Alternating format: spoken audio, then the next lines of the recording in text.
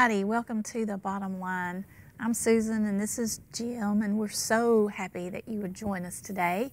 We're going to be talking to you. This is going to be our last one in our longest series ever. It was redemption, and today we're going to do number eight. Number eight, that's right. Actually, that's the number of beginnings. Maybe we should start over. no, we won't do that.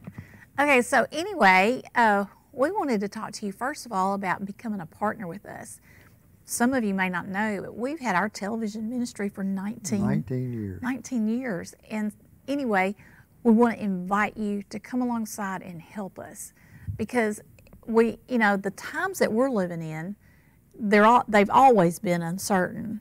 But I believe you would agree with me that 2020 proved out to be maybe perhaps the most uncertain year of your life ever. And so, anyway, we'd like to expand our ministry. That's right. So right now, our program is available in Louisiana, Arkansas, and Missouri. Right. And so we'd like to move beyond that. So anyway, of course, this takes money. And so we're just saying if you would like to join us and help us, we would be thrilled. And I want you to tell us what happens when you do that. Well, the, the Bible declares that, you know, the, uh, there was a time when David uh, was getting ready to go to battle, and, and, some of the men were just they were worn out, and they just mm-hmm. said we can't go. So the other they went out and they won the victory, and they brought the spoils back. And so David began giving the spoils to everybody, and the, the ones that went to battle said, "No, wait a minute, wait a minute, no, we did, you know." And, and David said, "Those that stayed here guarding the stuff are just as entitled to the mm-hmm. spoils." As those who went out and did the battle. So that means like if you send us to do the television ministry, whatever we accomplish, you get credit for just like we do. Right. And that's that's really good. That's right. That's really so, good. You know, yeah. Okay. So redemption. Redemption. Okay, what exactly is redemption? Well, redemption means that you were brought from one place to another. Mm-hmm. And we know that, uh, you know, and, and I think we've stated this on every program. Mm-hmm. We don't understand the new birth because we don't understand creation. We do, we mm-hmm. do we don't we don't understand when God created Adam and Eve mm-hmm. what His purpose was. His purpose was to have a person that he could just come and fellowship with, just talk to. Mm-hmm. Wow. Think about that. Yeah. And, and, and, and here's the thing about it. We know that, that God created the heavens and the earth, the, the stars, the, the animals, every, everything. Okay? Yeah. And he made this garden, this beautiful garden. You and I can only imagine the beauty that was found in the Garden of Eden. I know, yeah. And so then after he had made everything, he breathed life. He breathed life into Adam. Mm-hmm. But see, mm-hmm. the Bible talks about the fact that, that God uh, uh, created all the animals and everything, but it says he breathed life into Adam. He didn't create him, he breathed life into him. Mm-hmm. In other words, he breathed part of himself That's right. into Adam. And, and the good news is everything that Adam would ever need was already in the in garden. The garden. It was what, all there. God didn't have to say, "Oh, you know, I forgot to do that," so or "Oh, I bet Adam's going to need it. I'm, I need to do." No, no, it was already there. Mm-hmm. And so what we've been saying is that's just like the new birth, and this little book will tell you about it. We'll send it to you if you'd like to have one. The new birth is when a person gets born, born again. again. Born again. Okay, and now what happens is we believe that when that happens to you, that God puts in you everything everything you'll ever need. You will ever need. And you say, I know you're some of you are sitting there thinking, well, I'm going to need a house, I'm going to need a car. It's there. How in the world is God going to put that on the inside of me? Well, let me just ask you something. When God said, light be, where was the light? Where did it come from? It mm-hmm. came from what he said. From what he said. And every, every place there in Genesis chapter 1 it says, and God said. And whatever he said is what happened. So every, all of that, everything that God created was on the inside of him. Mm-hmm. right? Yeah, yeah. And so all it's the same with you and I. Yeah, so that's the way it is. It's, it's, it's already on. When, when God, see, the Bible, Jesus said, Jesus says the kingdom is within. Mm-hmm. So, in other words, the kingdom of God is within us. Mm-hmm. And everything that we will ever need, He's already supplied. It's a it's a process through your lifetime of learning how to move into the things that He's That's exactly prepared right. for Yes. you. Yes. Okay, but anyway, now do we want to offer? Maybe we should pray now, or do you want to wait a bit? Whatever you want to do. Maybe we should wait a bit. Okay. Maybe we need to do a little bit more before that. Okay, so redemption today. On our last program, we talked a lot about Abraham. Abraham. And so he is such a, you know, so symbolic. I mean, he's he's the father of faith, you know, and and you know, you hear people say, you know, he kept hoping when there was no reason to hope. And he was called the friend of God. And he was called the friend of God. I mean, he's like an amazing person to study in the Bible. And so we're going to go to the book of Romans and we're just going to bring out a few more things about him because when we looked at his life, we saw where God made covenant with him. Yes. And in our last program, we talked a lot about the meaning of that covenant. And you know, if you didn't happen to see the last program, you can go to our YouTube channel That's right. and you can watch it. Or you can even go to VTN. They've got all our programs there for lots of time, Lo- even years back. You can go see them. Okay, so anyway, the faith of Abraham is the subtitle in uh, Romans chapter four, and I'm just going to read the, the first two verse, the first verse, Okay. because this is incredible right here. Okay. Okay, it says Abraham was humanly speaking the founder of our Jewish nation. What did he discover about being made right with God?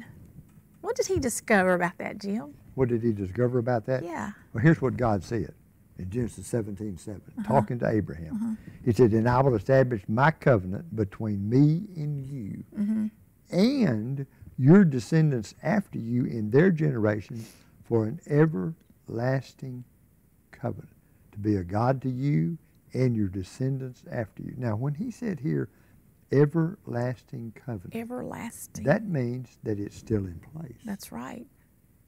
That's right. So you can enter into this covenant Absolutely. if you have not already. That's right.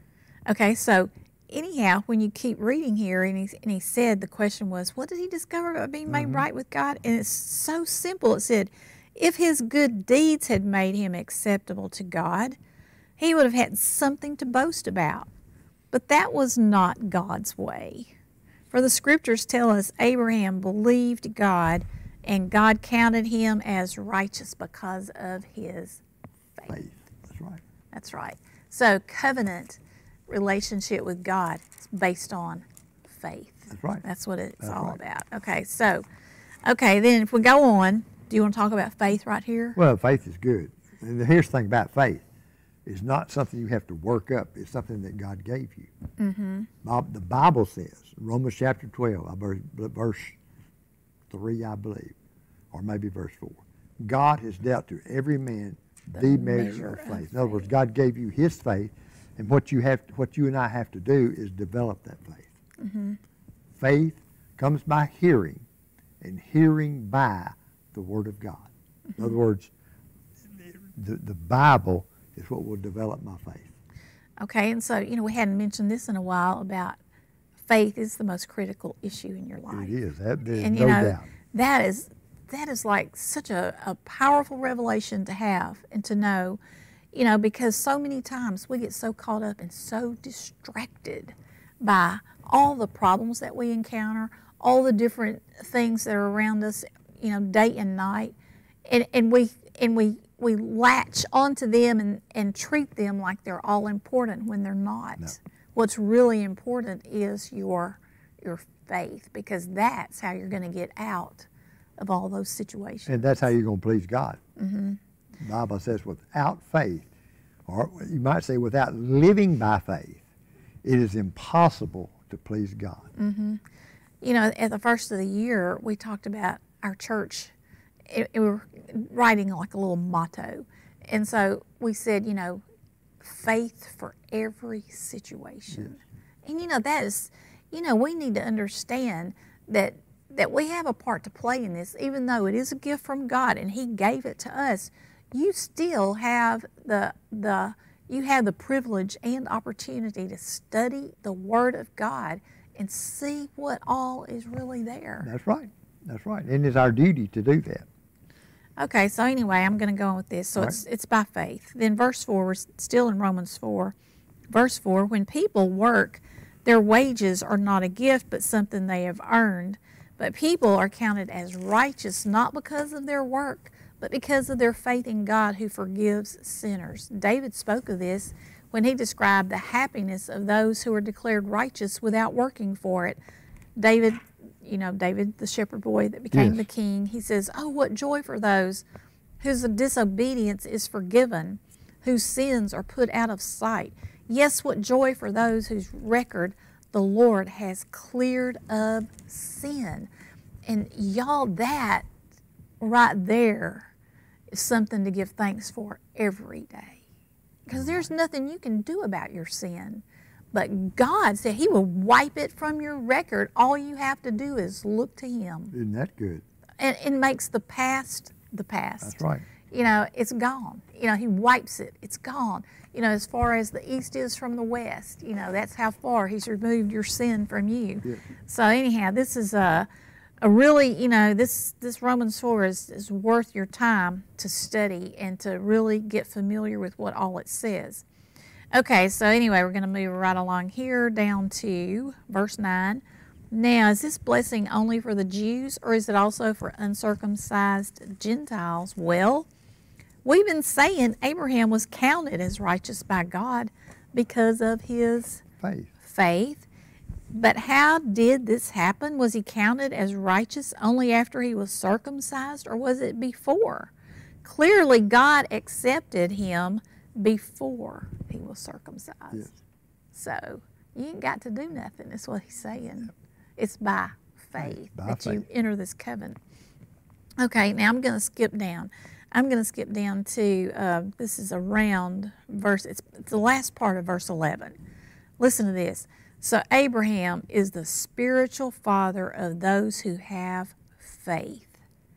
Abraham is the spiritual Spiritual father of those who have faith. Isn't that good? Okay, and then it goes on, and you're counted righteous because of faith. And then verse 13, clearly God's promise to give the whole earth to Abraham and his descendants was based not on his obedience to God's law, but on a right relationship with God that comes by faith. So, you know, forget trying to be good enough. That's right. Forget You- it. you can't. You can't do it. Nothing will ever work out for you like that. No. So it's all about faith. It's all about trusting the Lord and believing that what He said He will do. That's right. That's what it's all about. That's what it's all about. And you know, Jesus says, said, this gospel shall be preached in all the earth. Mm-hmm. This gospel. You know, in, in Galatians chapter 1, Yeah. Paul refers to if anybody comes and brings you another, Another gospel. gospel. So wait a minute. Jesus says, this gospel shall be preached. What what is this, Mm-hmm. This gospel? gospel. This gospel is that you are saved by faith, saved by grace through, faith. Yeah. That that Not that, of yourselves. not of yourselves. That's right. And and that and that and this gospel is the gospel of peace, the gospel of health and healing, the gospel of prosperity. The, I mean, e- everything that you would ever want. And you know, you know, one thing you need to add to that: the gospel of forgiveness. Oh, absolutely, absolutely. Mm-hmm. Yes, That's because that means everything. that's right. It just does. That's right. But anyway, here let's go here to you. Want, do you want to read some more? In, Well, there's just a few more Okay, I'd like to do it. read. I'd like to read this one down in verse 16. So the promise is received by faith. And then I like uh, verse 16, where we talked about this earlier. Abraham is the father of all who believe.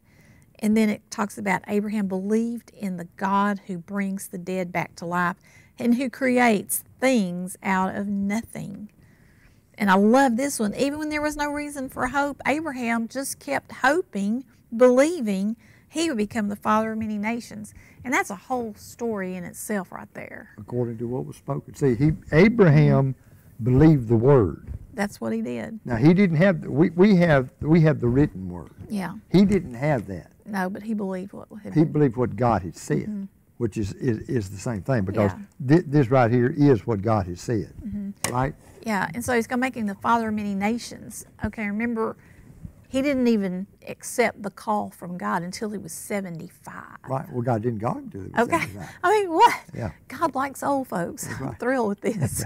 okay, so so there he is, and then and then he tells him he's going to make him the father of many nations. Yeah, and then he told him he says, look, if you could count the stars or the grains of sand, that's how many your descendants will Yeah. be. We are in that family. Well, I'm, I'm in that group. We're in that family. I'm in the group. Okay, but Abraham, it just said it just said that there was no reason for hope. You know why? Because he was so old.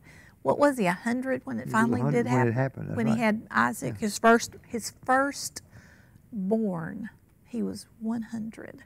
Okay, so he he had no reason to hope, but he just kept hoping, believing God that he would become the father of many nations because God had said to him, "That's how many descendants you will have."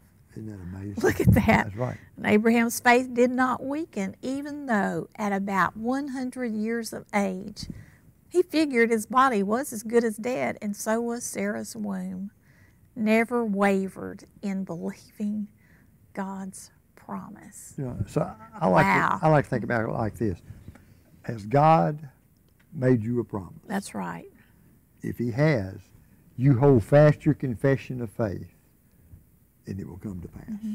You know, Jim, when you think about, you know, there's, I, I love the stories about Joseph. Yes, You know, because, you know, this boy had these dreams, and y'all, he's only 17. right. And he is a descendant of Abraham. And, he, and his brothers were so mean to him, they were going to kill him. Yes.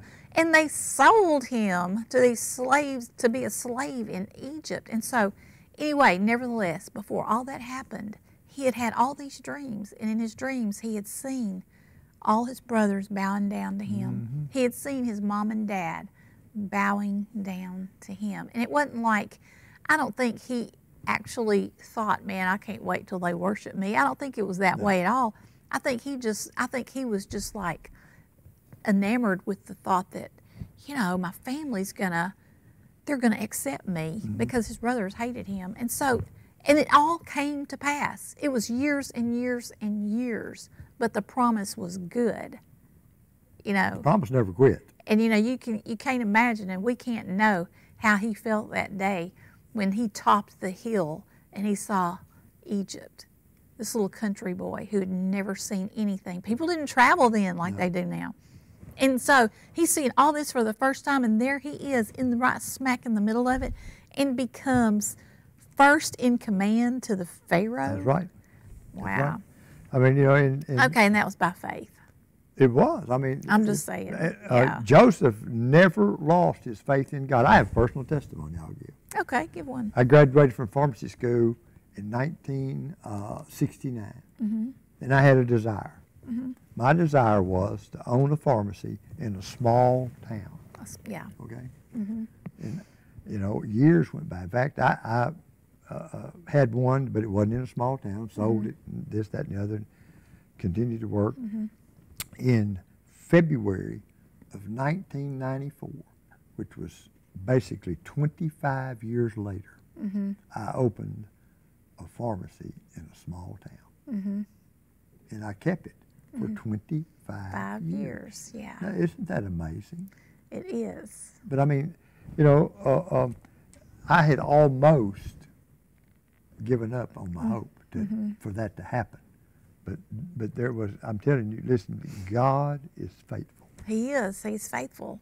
I mean, it's just, Keeps his promises. it is amazing to me that, that, you know, he said, he said, he said, I am the Lord God, I change not. Mm-hmm. Jesus Christ, the same yesterday, today, and forever. Mm-hmm. I will not alter the word that has come out of my mouth. Wow.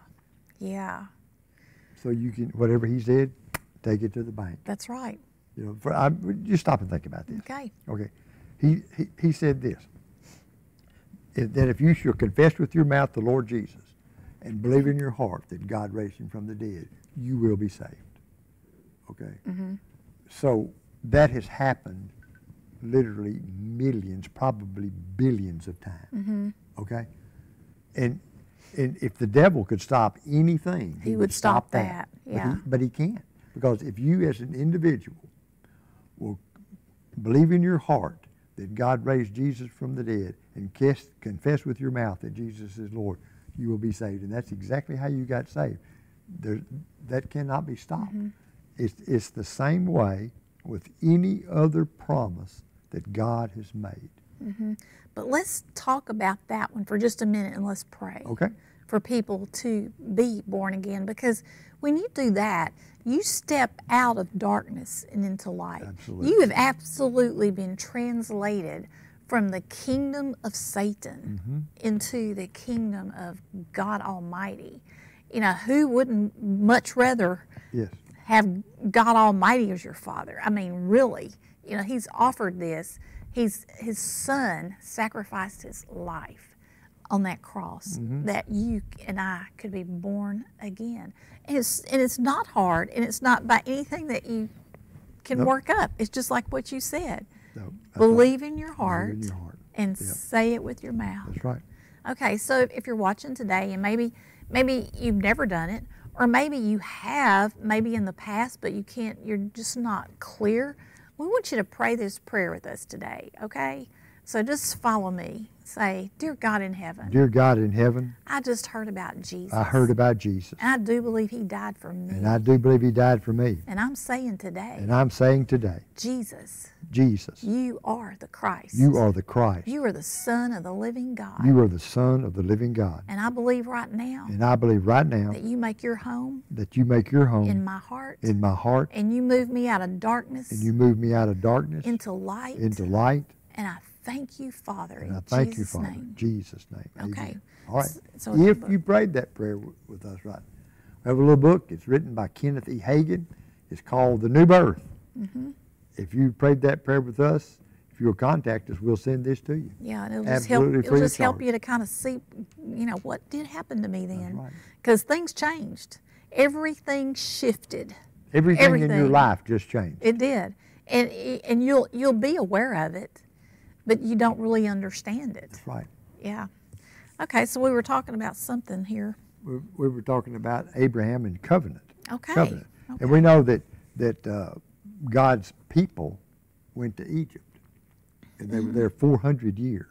And this this is an interesting thing to me. You see, uh, a very interesting thing in in Exodus chapter one, verse eight. Okay. It says, Now there arose a new king over Egypt who did not know Joseph. And he said to his people, Look, the people of the children of Israel are more and mightier than we. Now, did you hear what he just said? I did. He said, There's that. more of them than there is of us, and they are stronger than we Yeah, are. that's what he said. He said, Come, let us deal shrewdly with them, lest they multiply, and it happen in the event of war, that they also join our enemies and fight against us, and so go up out of the land. Now, isn't that interesting? He says, These people from Israel, there's more of them than there is of us, and they're stronger than we are. Yet, they put them in bondage and slavery. See, here's the thing. And these are the people that caused them to have great wealth. That's right. That's right. So here's the thing. As a believer, mm-hmm. as a believer, you are stronger and mightier than the devil. You have authority That's right. in the name of Jesus by the blood of Jesus. That's right. And so we, we need to understand. See, we think that that uh, I've heard people talk about how powerful the devil is. Well, he's not. He's defeated. He's defeated. He's defeated. He's defeated. Jesus said, the Bible says in Galatians that Jesus made a show of him openly, triumphing over him in it. disarmed. He disarmed him. And I That's mean, he, so so the, the devil cannot do anything to you. He can only make suggestions to you, Mm-hmm. and you follow his suggestions. That's right. And now he's a master at that. He's a master at that. There's no doubt. Yeah. And so, but you know, we have we have the Word of God to help us recognize when these things come our way. You know, in in uh, Corinthians it talks about how You need to learn how to cast down imaginations and high things that exalt themselves against the knowledge of God. And I know one, one reference about the devil himself is that he's the accuser of the brethren. Yes, he is. And so whenever you've got that going on and you're, it, I, you know how it is. I do. I mean, he will just come and torment you. Yes. And when that's going on, you just need to just stop and go to Ephesians 6. Think about the whole armor of God Mm-hmm. and get that belt of truth out, That's right. which is the Word of God. Yes, it is. Get it out. And you get the sword of the Spirit, which is the Word of God. You put on that helmet of salvation, which, I mean, think about it helmet. Protects your head. Protects, your, thoughts. Yeah, there you are, right there. Do that, and you know, and then you put those gospel shoes on. Peace comes, you know, when you do that, and you do those things, and and recognize, you know, these are not my thoughts. This is this is a conversation I'm hearing from somewhere else, and I'm not gonna right. have it. That's exactly Just right. stop it like that. Say no. Say no. Not happening today. In Jesus' name, no. All right. Well, we want to remind you about partnering with us. Uh, I believe the information is on the screen there. You can text it. Uh, I don't remember exactly what it is. Well, it can- doesn't matter. Or It's- you can it's make this. All that information is on the screen, and uh, as you partner with us, we you can rest assured that we will pray for you each and every day. That's you will, right. You will be your name will be on our prayer list, That's right. and we trust that our name will be on your prayer That's list right. because that's what partnership is all about helping one another Mm-hmm. helping someone to accomplish the goal Mm-hmm. that god has given them so we would ask that you would just uh, consider ask god what he would have you to do you know Mm-hmm. if he doesn't tell you to do anything then don't worry about it don't do it but if he speaks to you about partnering with us we would love to have you as a partner That's right. that's right right. That's right. all right. Remember, if you have prayer requests, you can contact us here. We would love to pray for you. We can hook up with people that know how to pray. Isn't that true? That's so right. we can pray for you, and we believe that God answers prayer. Mm-hmm. And remember this Jesus said, If you continue in my word, then are you my disciples indeed, and you should know the truth, And and, the the truth will set you free.